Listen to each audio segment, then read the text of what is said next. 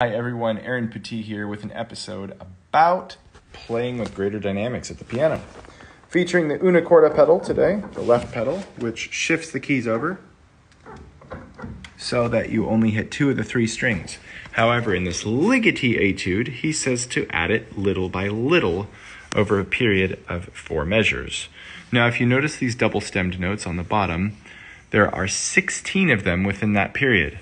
So it's not really possible to gradually add una corda pedal for that long. So what I'm thinking is find points where I'm going to shift it a little bit at a time. And I'm like, okay, 16 notes, do it every two notes, that's eight shifts.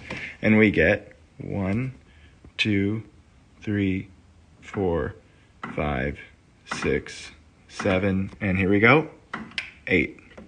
So what that turns out to be is something along these lines where I'm playing along and every two melody notes I have to click it just a little bit. So here we go. Level one, level two, level three, level four, level five, level six, level seven, level eight. And there we have it. So, if you have something over a long period, grade it into sections and find points where you're going to do it. That applies to a lot of situations.